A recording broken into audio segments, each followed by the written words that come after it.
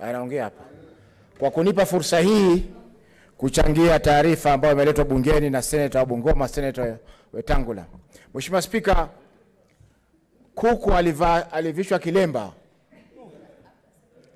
watu wakamwona kama jogoo,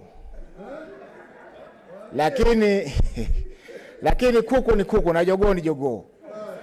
Kwa hivyo, Mheshimiwa Spika, kwa muda wa wiki moja sasa tumeona mwenyekiti wa baraza la magavana akitoa taarifa ambazo hazina msingi kikatiba na kisheria. Kwanza alisema kwamba atavunja bunge la Seneti. Bunge la Seneti liko katika katiba na asome article number 93 mpaka 96 na kuendelea, aone majukumu ya Seneti ni nini, ili aweze kuangalia kwamba hili bunge la Seneti liko hapa kikatiba na haliwezi kuondolewa mpaka katiba ibadilishwe kupitia kwa referendum. Jeo ametoa barua akatoa vitisho pia wiki iliyokwisha kusema kwamba atasimamisha huduma katika kaunti zetu. Tumeangalia sheria zote Mheshimiwa Spika zinazohusu kaunti zetu, na hakuna mahali ambapo mwenyekiti wa baraza la magavana ana haki ama ana amri ya kusema kwamba huduma zisitishwe. Hana mamlaka kabisa kuhusiana na utendakazi wa, wa, wa kaunti zingine. Yeye ana, ana mamlaka pia machache katika kaunti yake.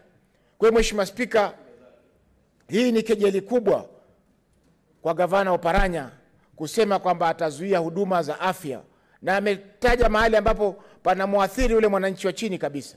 Mheshimiwa Spika, hivi sasa tuko katikati ya janga la korona, ambapo wananchi wanapata shida ya kupata huduma za afya. Yeye anasema kwamba huduma za afya zisitishwe katika kaunti zetu.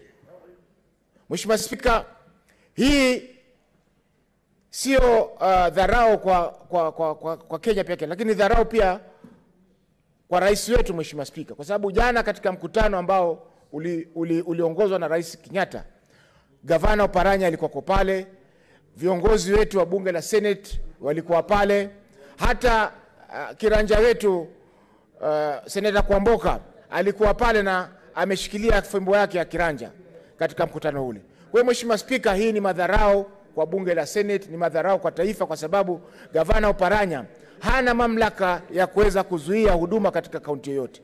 Na twawaonya magavana wote 47 kwamba wote 46 Oparanya anaweza kusitisha huduma katika kaunti ya Kakamega, lakini zile 46 nyingine zote wasifua, wapuuze amri ya uparanya, kwa sababu amri ile haina, haina mamlaka yoyote ya kisheria ambayo inaweza kusaidia kuwatetea wakati kitakapoumana. Asante Bi Spika kwa kunipa fursa hii.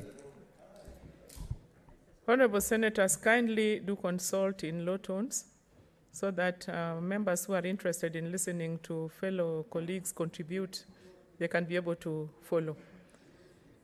Senator Matsayo.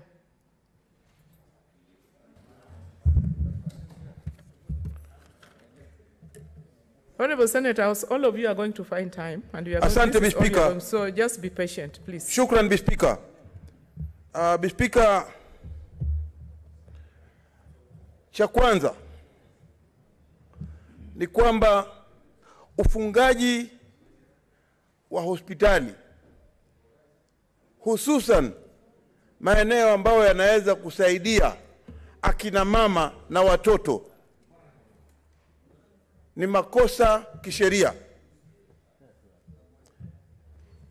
Cha pili, yeye gavana Oparanya kutoa amri ya kufunga haya mahospitali na kuwaambia wafanyikazi waende leave kwa wiki mbili, amekiuka sheria. Kulinganishana na sheria, yeye hana mamlaka hata kidogo kutoa amri kama hiyo. Bispika, tunataka kumuuliza bwana Oparanya,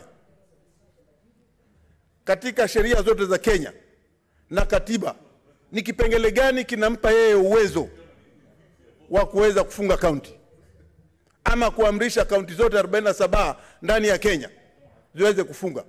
Na mimi nataka kumwambia ndugu yangu ambaye ni mwanasheria, tena ni mwanasheria mshupavu, na alikuwa katika lile bunge ambalo Paranya alikuwa katika ndani ya serikali kama waziri, na gavana wangu pia alikuwa kama waziri katika hiyo hiyo serikali, asiweze kufata sheria hiyo iliyotolewa na Uparanya, manake sheria hiyo haina msingi wa kisheria katika Kenya. Kuna huyo Atuoli sengine husema hiyo tabia kama hiyo ni ushenzi kabisa. Hiyo tabia kama hiyo ni tabia ambayo wewe huna utovu wa nidhamu unaanzia wakati huo, na gavana Oparanya akaya akijua kwamba amri hiyo aliyosema Wakenya wanailaani zaidi. Kama ni Wakristo wanasema ashindwe shetani, ashindwe, kwa sababu yeye hata mbele ya Mwenyezi Mungu, Bispika, kwa heshima na nidhamu, ni kwamba yeye amekosea, kama Mungu mwenyewe alisema kwamba nyinyi mtaendelea kunisifu na wale walio na imani watapona wakienda mahospitalini. Hivi leo amepuuza amri hiyo, yeye anajifanya yeye ndio kila kitu katika kaunti. Yeye he is nothing and I want to tell him, hawezi ku- kucontrol kucontrol hii makaunti yote katika Kenya. Yeye kama ni mwenyekiti wa ile COG abaki hapo, wakae wakizungumza, wakinywa kahawa, hiyo imalizikie hapo. Mambo ya kusema kwamba yeye anaweza kuingilia hata bunge la Senate kuambia jinsia wanaweza kugawanya pesa, mi nasikitika sana.